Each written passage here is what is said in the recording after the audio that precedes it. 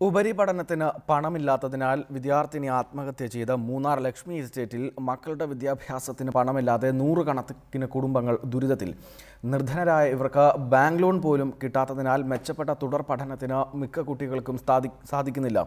ഇത്തരമൊരു സാഹചര്യത്തിലാണ് കഴിഞ്ഞ ദിവസം കാർത്തിക എന്ന പെൺകുട്ടി ദേഹത്ത് മണ്ണെണ്ണയൊഴിച്ച് ഇവിടെ ആത്മഹത്യ ചെയ്തത്. മൂന്നാർ ലക്ഷ്മി എസ്റ്റേറ്റിലെ മുരുകന്റെയും കലയുടെയും മകൾ കാർത്തികയെന്ന എന്ന പതിനേഴ് വയസ്സുകാരി ഡോക്ടറാകണമെന്ന തന്റെ ആഗ്രഹം ഒരിക്കലും നടക്കില്ലെന്ന് മനസ്സിലാക്കിയപ്പോഴാണ് മണ്ണെണ്ണയൊഴിച്ച് തീ കൊളുത്തി ആത്മഹത്യ ചെയ്തത്.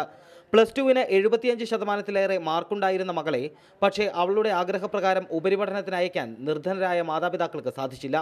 ട്രാക്ടർ പിടിക്കുന്ന ഒരു ആശയം அந்த பைசா அப்பாவால் பெரட்ட முடியுமா என்னமோ அந்த கஷ்டத்தினால உதவி பண்ண ஆள் இல்லை கல்யாணம் பண்ணிக்கிறதுல வந்து குடும்பத்தில் ரொம்ப கஷ்டம் அவளுக்கு படிக்கணும் ரொம்ப ஆசையாக இருந்துச்சு വിരുപാറ ഡിവിഷനിലെ തൊഴിലാളിയായ കലയ്ക്ക് കിട്ടുന്ന നൂറ്റി നാൽപ്പത് രൂപ ദിവസക്കൂലി കൊണ്ടാണ് ഈ കുടുംബം ഇവിടെ ജീവിക്കുന്നത് ആരോടും ഒന്നും പറയാതെ അത് വേദന കൊണ്ടാ അവർക്ക് മൂന്ന് പിള്ളേരാ പെൺപിള്ളേർ മൂന്ന് പേര് പിന്നെ മൂത്ത കൊച്ചിനെ കെട്ടിച്ചു വിട്ടപ്പോൾ അവർക്ക് കുറച്ച് കടനുണ്ടായിരുന്നു മക്കളുടെ ഉപരിപഠനത്തിന് പണം കണ്ടെത്താനാകാതെ വിഷമിക്കുന്ന നിരവധി രക്ഷിതാക്കൾ ഈ എസ്റ്റേറ്റിൽ വേറെയുമുണ്ട്.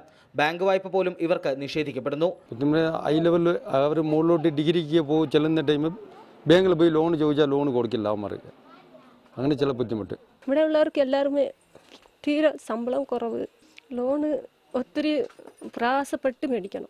പഠനം നിർത്തുകയോ തമിഴ്നാട്ടിലെ നിലവാരം കുറഞ്ഞ കോളേജുകളിൽ പേരിന് പഠിക്കുകയോ അല്ലാതെ ഈ എസ്റ്റേറ്റ് തൊഴിലാളികളുടെ മക്കൾക്ക് വേറെ വഴിയില്ല. യദു നാരായണൻ റിപ്പോർട്ടർ ഇടുക്കി